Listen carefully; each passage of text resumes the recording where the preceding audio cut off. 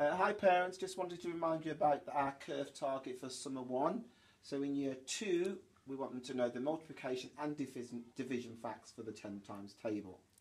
By the end of this half term, children should know the following facts and the aim is for them to know them instantly, so to recall them instantly. So we've got the 10 times table up to 12 and then the division fact to go with it as well. Key vocabulary, what is 10 multiplied by 3, so multiplied by.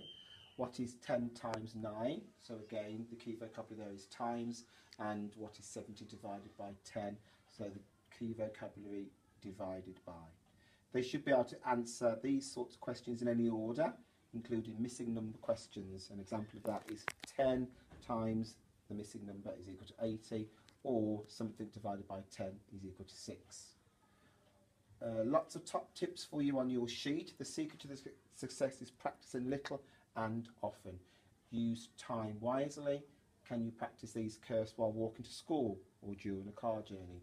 You don't need to practice them all at once. Perhaps you could have a fact of the day.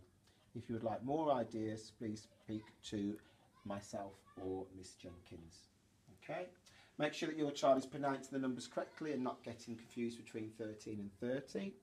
Songs and chants. You can buy Tom's Table CDs or find multiplication songs and chants online. Uh, if your child creates their own song, this can make the times table even more memorable. Test the parents. Your child can make up their own tricky division questions for you. Example, what is 70 divided by 7? They need to be able to multiply to create these questions. Apply these facts in real life situations. How many toes are in your house? What other multiplication and division question can your child make up?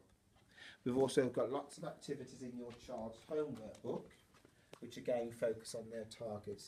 We've got the 10 times table activities where they've got a number grid where they're counting tens and colouring the grid and then work out the answers.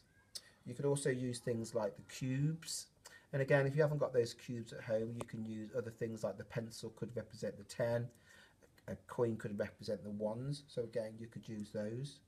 We've got writing the 10 times table and the division sentence to go with it. So an example of that is 1 times 10 equals 10.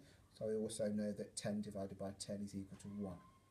We then move on to some division sheets that we've got, which is again just focusing on them, working out what that division fact is, and then colouring it in the correct colour.